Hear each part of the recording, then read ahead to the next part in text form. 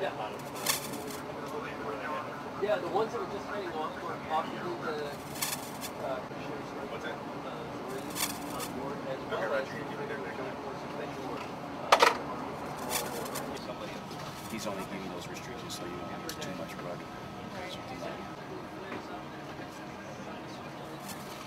Right now, it's taking the ship, making it look like you have a two degree rudder restriction, meaning that Yeah. This is increases.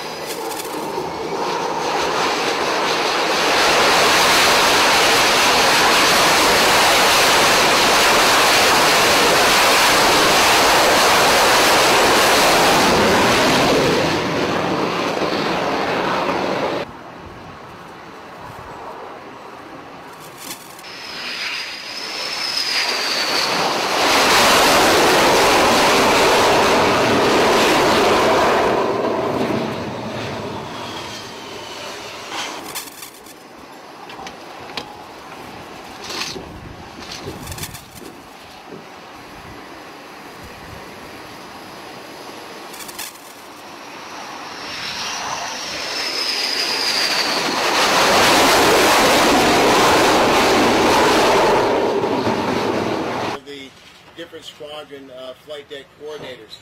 And throughout flight deck we've got pilots and aircraft and just general real-time information. Um, adventures we have, a special group.